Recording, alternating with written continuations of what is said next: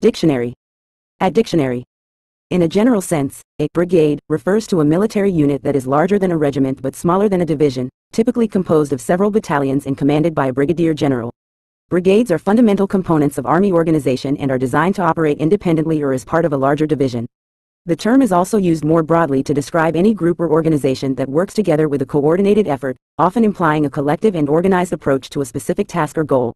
Beyond military contexts, brigade can be applied metaphorically to describe coordinated groups in various fields, such as politics or activism, working together toward a common objective with a shared sense of purpose.